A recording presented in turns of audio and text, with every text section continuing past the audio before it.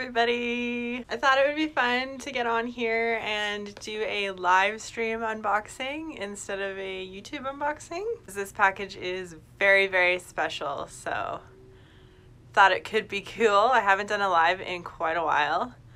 Um, I really haven't been working in the studio all that much. It's been a little bit busy as of lately. So any guesses as to what could be in this box? It is pretty exciting. It comes with a pretty cool story too. So, oh my goodness, this is the most people I've had on a live stream ever, I think. So I'm gonna try and not show my address. Love unboxings. I think, I don't know why that's a thing. Like why is that a thing that people enjoy watching? I guess because it feels like you're almost opening the package yourself. Let's try and not cut myself. This is not a good positioning. Packing peanuts! Green packing peanuts. Actually, that's the most exciting thing for me. I actually like individually pick these out because they're my studio colors. So I want them for like special packages. so I love getting green ones. What could it possibly be? It's long. Does that give any hints? Oh my god. Now they're all over my house. Awesome. and all over my lap. What could it possibly be? Long, long boy. That's like what everybody calls their long models anymore. I'll slowly unwrap it and see if you can guess what it is. very exciting. It's a very exciting thing to have.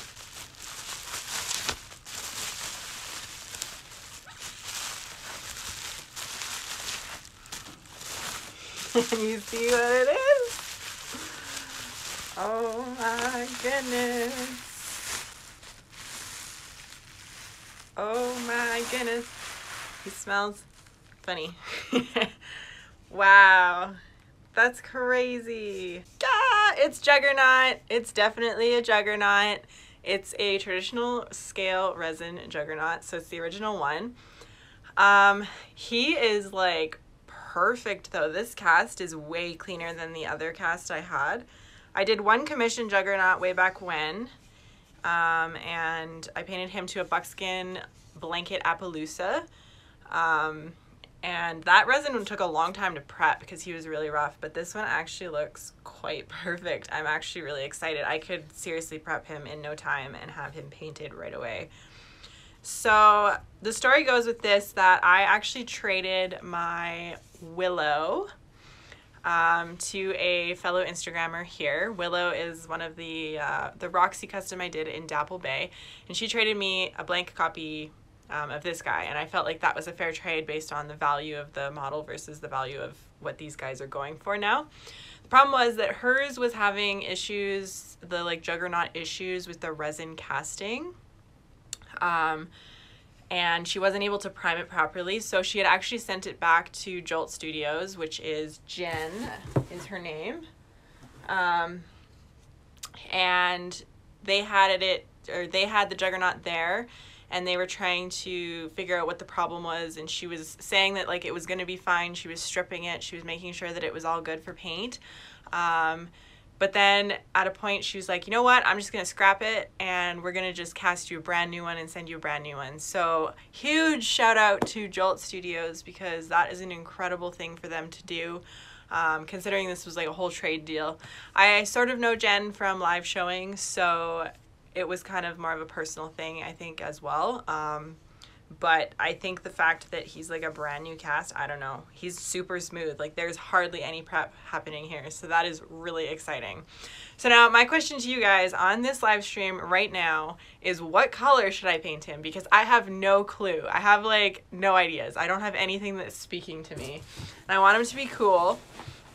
I'll probably hold on to him for a little bit to show him because he'll be, he's like my first traditional sized resin.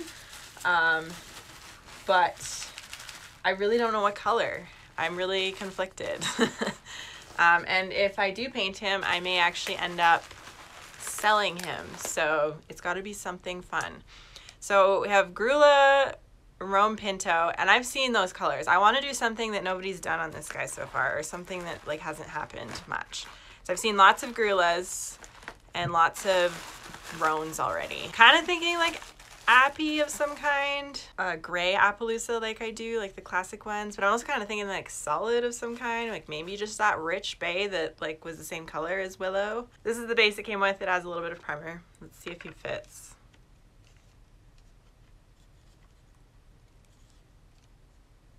Ta-da! okay, we've got a bunch of requests here. Grulla Pinto. I'm not doing Grulla because I've seen that too many times. Appaloosa is a potential. It actually would be really cool to do a leopard, like a black and white leopard like I do. That would be kind of sweet. Silver Bay. Hmm, not a fan of Silver Bay. Bay paint. That could work. Like a tricolor.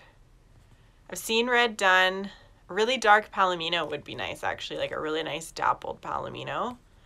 That would be fun. Chestnut Appaloosa. Dapple Gray has been done too many times. Cremello I will not paint. super fiery chestnut. I was kind of thinking like chestnut would be kind of cool, just like super basic. But I don't know how much the resale is for that kind of a color.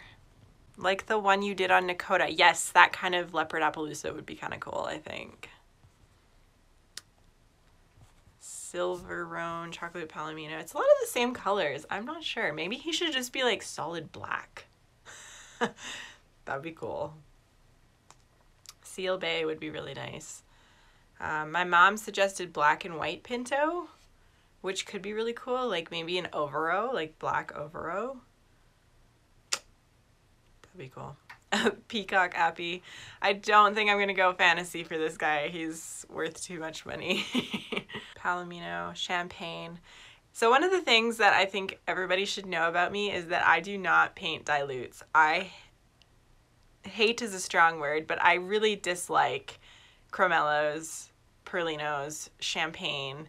Like I don't like anything with the pink skin and the blue eyes, so I just refuse to paint that because I don't find it as an attractive horse color at all.